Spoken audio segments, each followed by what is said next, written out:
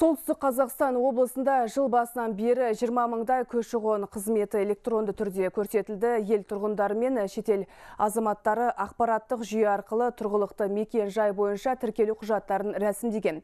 Ал төл құжат, куәлік, виза, еңбек мигранттарына рұқсат қағаз алу сияқты қызметтер көші-қон басқармасының ашық кеңсесінде жүргізіледі.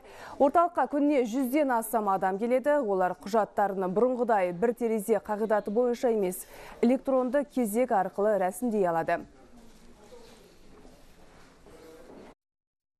операциялық жайда барлық енді қолайлы жағдайлар жасалған азаматтарды қабылдау үшін қызметкерлерге жұмыс орындары қамтылған.